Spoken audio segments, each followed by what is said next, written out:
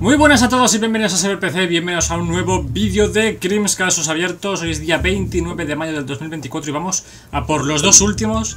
Después de haber dejado este, pues sin poder completar porque no, no entiendo la relación y después de haber perdido parte de nuestro prestigio como investigador.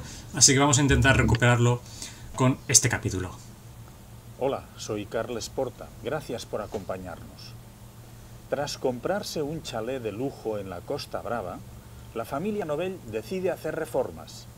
Al tirar unos tabiques, los albañiles descubren los restos de un cuerpo descuartizado que parece llevar más de una década sepultado.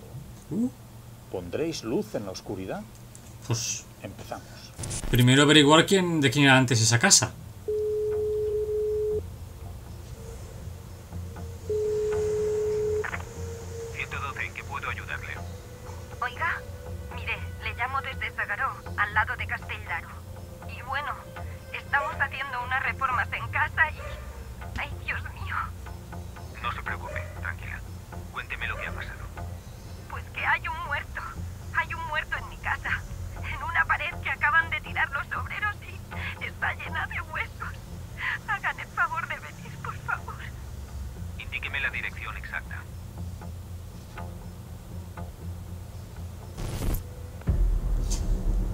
Maestra.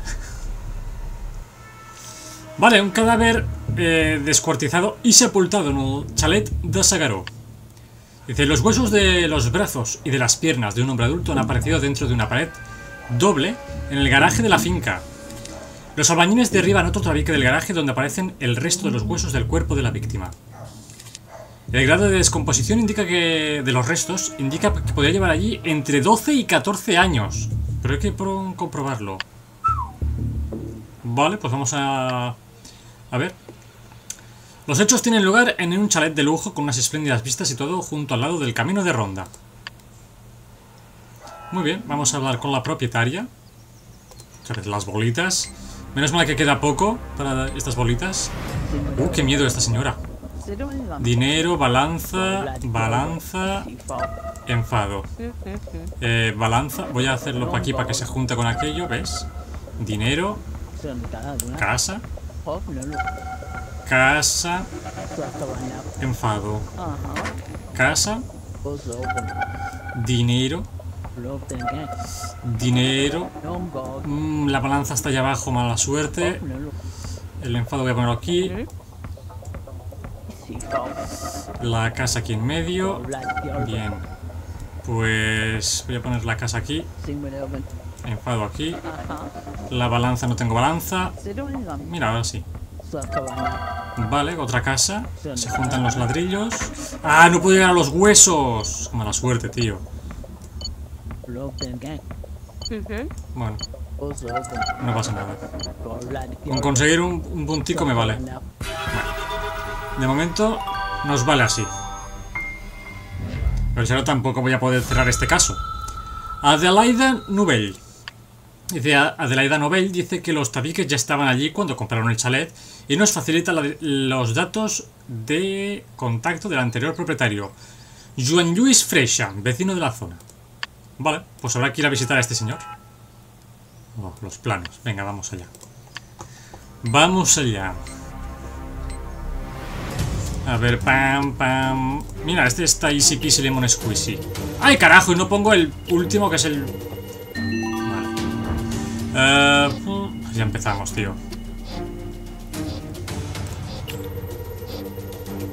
Buah, qué mala suerte. ¿Pero este encaja? No, este no encaja. O sea que esto tiene que ir. A ver. Esto tiene que ir así, quizás. Pero tiene que ir... Así. ¡Vamos! No puede ser que lo haya hecho tan bien. Bien, con dos me vale. Pero bueno, vamos a intentar hacer este ya que estamos. Esto tiene que ir por aquí. Esto tiene que subir. A ver. No, este no puede ir por aquí. Pues esto tendrá que girarse. Esto tendrá que ir así. Por aquí. Esto tendrá que ir por aquí. Eh... Bueno, con estos dos ya nos va bien. Vale.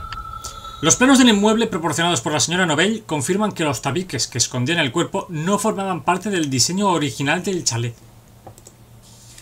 Con la idea de construir una pequeña sala en el garaje de la casa, el anterior propietario hizo erigir esas paredes. Muy bien, pues ya tenemos un sospechoso. Mm, Vale, esto es lo de esquivar... Ah, no, es esta cosa. Bueno. Am, a ver, una sierra por aquí... No, esto por aquí, esto por aquí, esto por aquí, esto por aquí, esto por aquí. Vale, no sé muy bien cómo hago las cosas, pero no pasa nada. Eh, todo tiene un significado. Ok, eh, no sé, no me estoy enterando de nada. No me estoy enterando de la fiesta, ¿eh, gente? Así de claro os lo digo. Esto por aquí, esto no sé dónde va, esto va por aquí, esto va aquí, eh, esto aquí, esto aquí. ¿Esto qué es? ¿Una sierra? ¿Dónde hay una sierra? Esto por aquí, esto por aquí, no, esto por aquí. Vale, eso sí. em, esto aquí, esto... Un ladrillo. ¿Dónde hay un ladrillo? Esto es una... ¿De dónde hay un... Aquí hay un ladrillo, pero no hay ningún ladrillo. Eh, vale. Me, ha- dejado esto un poco loco, ¿eh? Ahora mismo. Bueno, en fin. Da.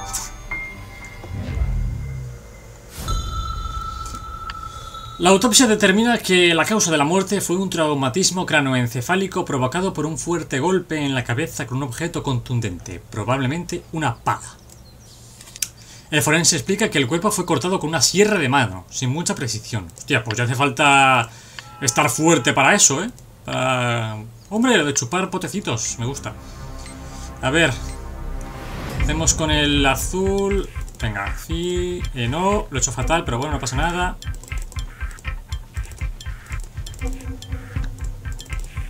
Aquí, vale. Vale. Este, el primero tenemos bien, tío. Luego ya el tercero no, me complica la existencia, eh. Estoy dando clics como loco.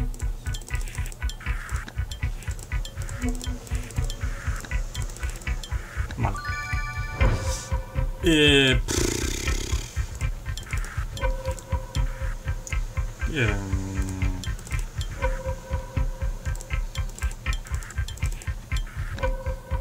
vale, pues... Eh,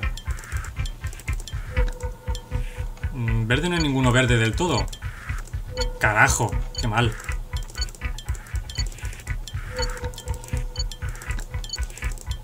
Casi lo tengo. ¡Ah! Me faltaba, tío, solo esos dos. Bueno. A ver, me, he desconcertado ahí con, con ese, pero bueno. Em, qué imagen tan extraña esta. Eh, el examen radiológico y las pruebas de laboratorio confirman que la muerte se produjo hace 10-15 años. En España el delito de homicidio prescribe a los 20 años, por lo que todavía hay tiempo para llevar al homicida ante el juez. ¿Esto es una persona? ¿Y esto es otra? No sé. Bueno, pues tampoco, tampoco me dice mucho. Despacho de Joan Luis Freixa, que es el propietario anterior. Vale, el hecho de que el cadáver lleve sepultado más de 10 años nos obliga a investigar el antiguo propietario del chalet. Nueva pista, el buitre Freixa. Uh. El buitre Freixa es una figura mediática de cierta relevancia, autor de libros sobre finanzas y autoayuda, y colaborador habitual de tertulias televisivas. El buitre tiene cierta reputación en el mundo de las altas finanzas gracias a sus agresivas técnicas de negociación y a las lucrativas operaciones de crédito en las que ha participado.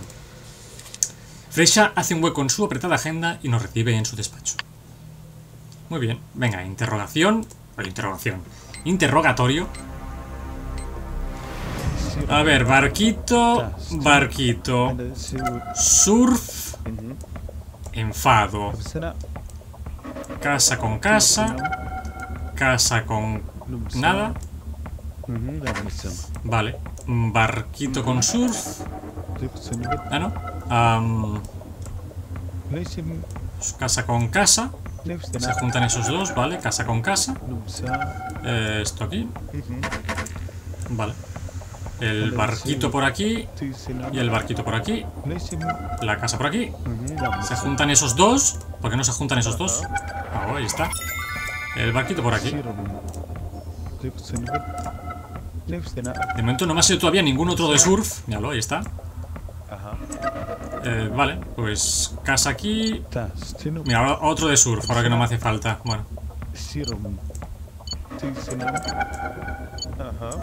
Surf, eh, bar. Tío, consigo uno más y llego a las tres estrellas, eh. Pero bueno.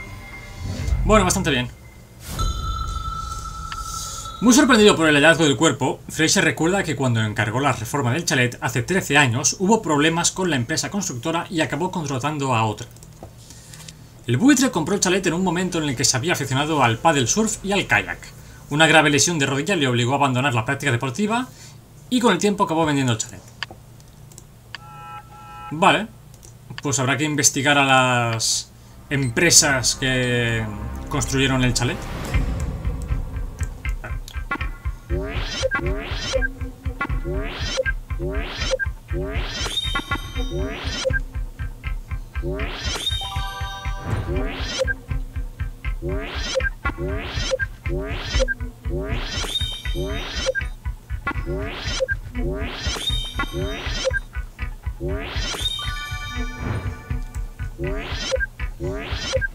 Este minijuego siempre me deja muy loco, eh, tío.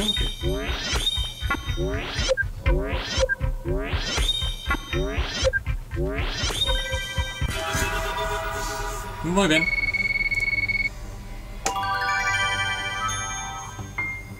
Excelente. ¡Eh! Pero no, me han dado facturas comprometidas, no las he visto. ha pasado completamente. Con la ayuda de la secretaria de Fresha, localizamos facturas de hace 13 años a nombre de la empresa que llevó a cabo la reforma del chalet de Sagaró.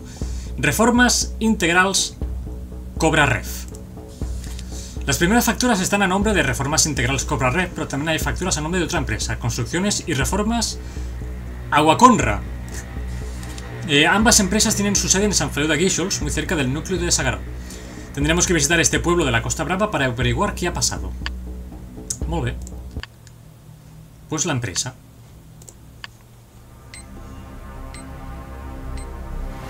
Vamos a empezar por este tocho. Vamos a hacer esto así, vamos a hacer esto así, vamos a hacer esto así. Vamos a hacer este corto, este por aquí, este por aquí, tú más bien por aquí, ¿vale? Eh, tú por aquí y tú por aquí. Y tú por aquí, tú por aquí, tú puedes ir quizás por aquí directo. Esto sí. Vale, esto podemos hacerlo así. Esto por aquí. Esto por aquí y esto por aquí.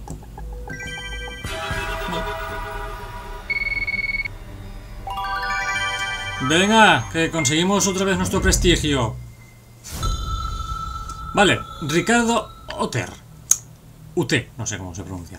Tras hacer una búsqueda en la base de datos de la Cámara de Comercio, confirmamos que hace 20 años se registró una empresa de reformas con este nombre, cuyo propietario era un tal Ricardo Otter. Reformas Integrales Cobraref eh, cesó su actividad pocas semanas después de que Joan Luis Freixa se encargara la reforma del chalet de Sagaró. Comprobamos que durante los años que estuvo activa Reformas Integrales Cobraref fue una empresa muy demandada, especialmente por los propietarios de chalets de lujo de la zona. Hace 13 años la prensa informó de la misteriosa desaparición de Ricardo Otter, un empresario de la construcción local. Los hermanos Balbuena, trabajadores de Otter, aparecieron como sospechosos durante la investigación pero nunca fueron acusados por falta de pruebas. Ricardo Otter no tuvo hijos. La denuncia fue de desaparición fue presentada por su esposa, ya fallecida. Uno de los artículos que encontramos elabora un perfil de los hermanos Balbuena, que habían admitido no tener muy buena relación con su jefe, a quien reclamaban una deuda de incontables horas extra. Ellos fueron las últimas personas que vieron a Ricardo Otter antes de que desapareciera. Bueno, pues ya tenemos sospechosos otra vez. Nuevo escenario del crimen. Oficina de Aga Conrad. Que es la otra empresa. Las pistas apuntan a los antiguos trabajadores de Ricardo Terra, los hermanos Balbuena, que finalmente se hicieron cargo de la reforma del chalet de Sagaro. Visitamos su oficina en San Feliu de Guíxols. Nueva pista, los hermanos Balbuena. Pedro y Ginés Balbuena son propietarios de un negocio especializado en reformas y construcciones de lujo en la Costa Brava. Al enterarse de que estamos investigando la desaparición de Ricardo Ter, los hermanos se niegan a atendernos y nos echan de su oficina de muy malas maneras. El hermano mayor, Pedro, se pone muy nervioso y casi llora cuando escucha el nombre de Ricardo Ter. Por su parte, Ginés, el hermano pequeño, se muestra muy frío y nos recuerda que no tenemos ninguna autoridad para interrogarlos. La actitud de ambos es cuanto menos sospechosa. Vale, pues venga, otra vez a intentar entrar ilegalmente.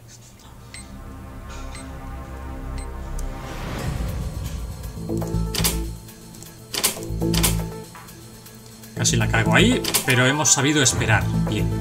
La paciencia es la solución y es la clave de los problemas.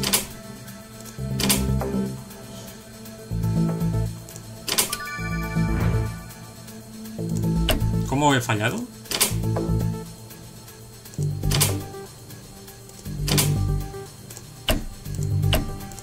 Tío, va muy rápido ahí.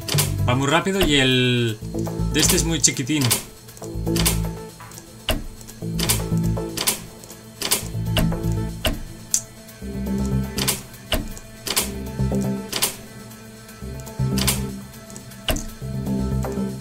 Bueno, pues nada, ¿eh? Me da a mí que no... Este no, no lo hago, ¿eh?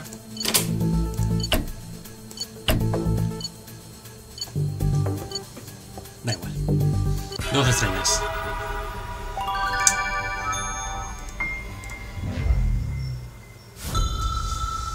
Ay, un negocio próspero. Dice, hacemos una discreta guardia cerca de la oficina de los hermanos Balbuena y cuando ambos han salido aprovechamos para entrar en el local. La Costa Brava es un mercado muy potente para constructores, aparejadores e interioristas. Los hermanos Balbuena se han labrado un nombre en el sector.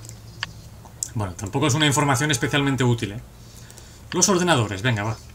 Aquí seguro que sacamos algo, algo bueno.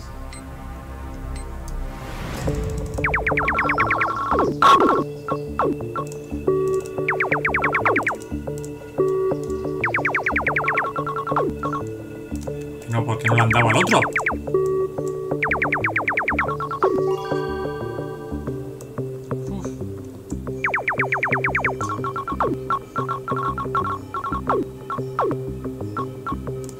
Voy a ir directamente por aquí porque si no voy a tardar mucho. Nice.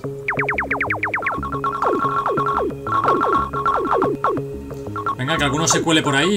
Vale. Excelente.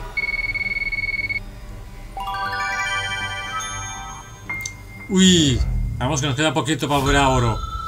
Clientes usurpados. Logramos hackear los ordenadores personales de los hermanos Balbuena, pero no encontramos ninguna prueba concluyente. Comprobamos que el primer proyecto de construcciones y reformas a Gaconra fue la reforma del chalet de Joan Luis Freixa, en Sagrado.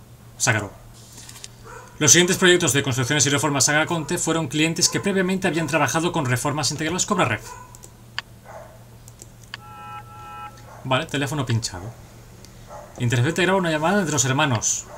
Nu- nunca leo la parte de arriba, tío, que también dan una pequeña inspección, o sea, una pequeña información. Eh... Va, se me, se me escapan ya. Buah, se me ha ido para otro lado, eh. Tengo que ir desde, desde aquí arriba, por lo menos. Vamos, baja. Vamos, ahí lo tengo.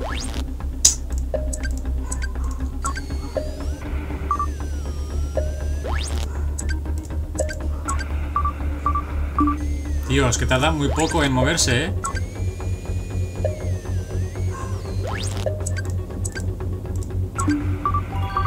Vale, aquí va mejor. Ahora subirá para arriba, ¿no? A ver. Ahí está. Bueno. Hemos encontrado un pelín. Vamos. Bien, dos estrellitas, bueno. Bueno.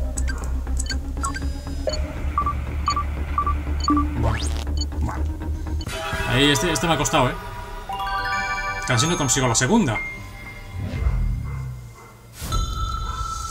Una conversación incriminatoria, dice. Nuestra presencia ha alterado tanto a los hermanos Balbuena que acaban cometiendo un error. Gracias a un dispositivo que nos permite interceptar llamadas cercanas, escuchamos una conversación telefónica entre ambos en la que se revela información clave. Asustado, Pedro Balbuena llama a su hermano para expresarle sus temores, dejando claro que ellos asesinaron a Ricardo Ter con una pala durante una discusión que se fue de madre hace 13 años. Bueno, pues ya lo tenemos. Un familiar. Uy, este es el de memorizar las... Bueno, pues en principio ya está. Ya los tenemos. Eh, vale. Bien. Eh, wow. Naranja, lila, naranja... ¿Naranja? Lila. ¿Naranja, verde?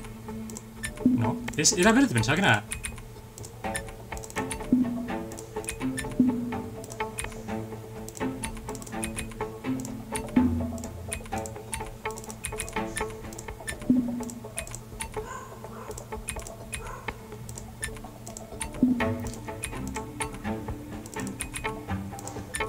No. Hostia, estoy muy perdido ahora mismo. ¿Qué, qué me está sucediendo en la cabeza?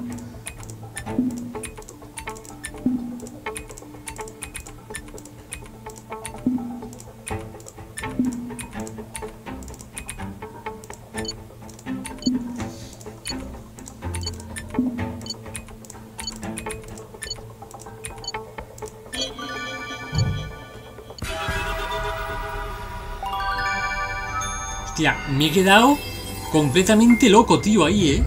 Wow. Teníamos eh, la certeza de que el cuerpo descuartizado era el de Ricardo Otter, pero ahora lo hemos podido confirmar comparando su ADN con el de un familiar cercano. Logramos localizar a una sobrina de Ricardo Otter en el Masnou, Carla Otter. Es hija de un hermano fallecido de Ricardo. Vale, pues ya, ya está, es lo último que nos queda. Ya han confirmado que han sido ellos, ahora los tenemos que perseguir.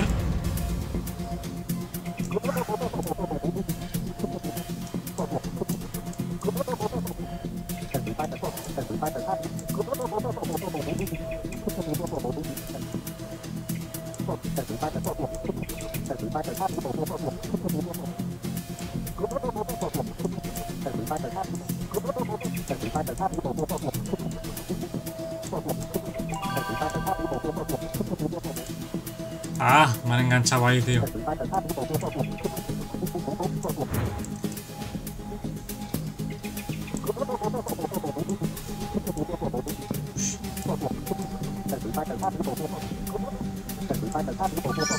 Vale, dos estrellitas.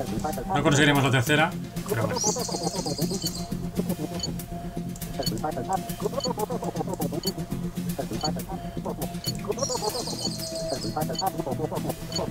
¡Uy! A un píxel me he quedado, tío. Bueno, no pasa nada.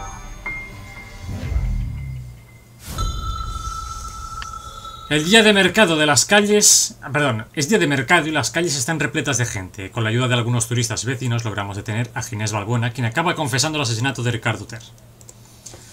Ginés admite que le dio un palazo en la cabeza a Ricardo Ter atacándolo por la espalda mientras este discutía con su hermano Pedro por el, que, por el dinero que les debía. Bueno, pues ya está. Resolvamos el caso. Vale. Eh, los hermanos. Golpeado. Móvil. Eh, clientes usurpados. Y el chalet de Sagaro. Ya, clientes usurpados. Ahí me ha pillado, eh.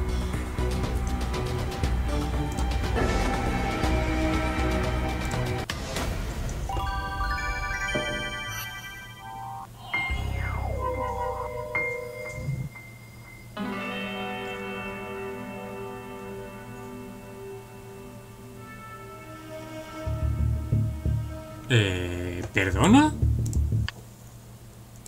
¿Perdona?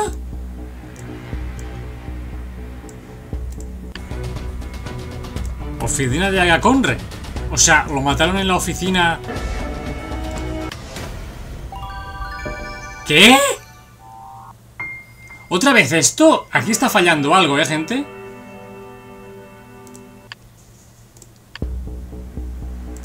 O sea, a ver, no hay más. ¿Puede que sea esto por el negocio? Hostia, ojo, eh. Podría ser ese.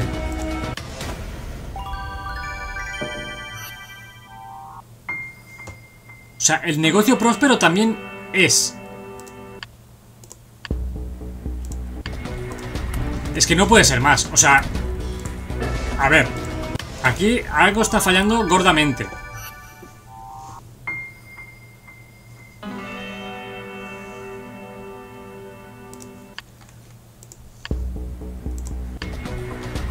Conflicto laboral no va a ser.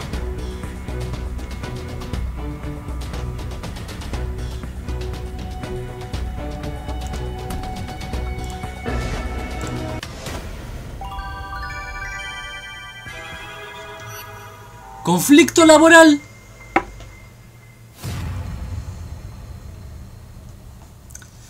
En fin.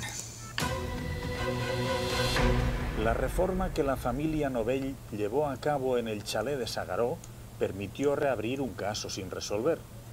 La investigación confirmó que los restos del cuerpo sepultado eran de Ricardo Oter. Por el crimen que habían cometido hacía 13 años, los hermanos Balbuena, Pedro y Ginés, fueron condenados a 15 años de prisión cada uno. Gracias por poner luz en la oscuridad. De nada. Pero hay que arreglar eso último, ¿eh? Que a veces los casos se quedan así, ¿eh? Como este. Y cuando acabe el siguiente volveré a hacerlo para ver cuál es la, la solución correcta. Así que nada, espero que os haya gustado. Nos vemos en el último vídeo de este Crims Casus Uberts. Así que, adiós.